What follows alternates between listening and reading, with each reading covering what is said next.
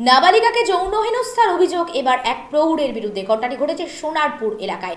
জানা যায়, বারো বছরের নাবালিকা নাচের ক্লাস সেরে শনিবার সন্ধেবেলায় ফেরার সময় আচমকা রাস্তার মধ্যে হাত ধরে নাবালিকাকে টেনে নিয়ে গিয়ে জঙ্গলের মধ্যে তার যৌন হেনস্থা করা হয়।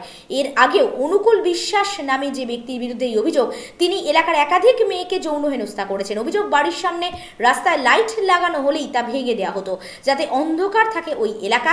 তার সুযোগ নিয়েই মেয়েদের ওপর যৌন নির্যাতন চালাতে অভিযুক্ত। ধৃতের দৃষ্টান্তমূলক শাস্তির দাবি জানানো হয়েছে এই ঘটনা জেরে রীতিমতো আতঙ্কিত এলাকার মহিলারা। নাম অনুকূল বিশ্বাস। আমার মেয়ে স্কুল থেকে বাড়ি ফিরছিল শুক্রবার দিন।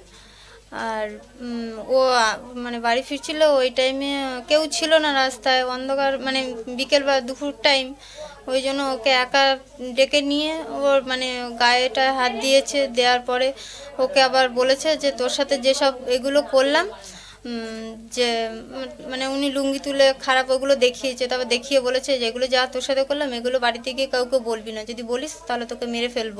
হ্যাঁ প্রাণে মেরে ফেলার হুমকি দিয়েছে। যদি বলিস তাহলে তোকে মেরে ফেলব। তোর বাবা মা বাড়িতে থাকে না এটা কাউকে বলবি না। তারপরে যখন বাড়িতে আমার বাড়ি কেউ থাকবে না তোর তো মা বাড়িতে থাকে না আমি যখন ডাকবো একা একা থাকব তখন তুই চলে আসবি কাউকে বলবি না। এই বলে মেয়ে ভয়ে কাউকে আর বলেনি। যেহেতু ওকে মারার হুমকি দিয়েছে।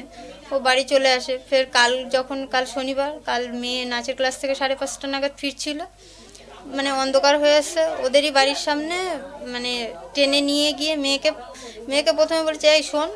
এবার মেয়ে যেই শুনছে না বলে চলে আসছে, তখন মেয়েকে জোর করে টেনে নিয়েছে। টেনে নিয়ে গিয়ে মেয়ের সাথে মানে শারীরিক এ করতে গেছে। তখন মেয়ে ওর হাতে কামড়ে দিয়ে মেয়ে পালিয়ে আসে।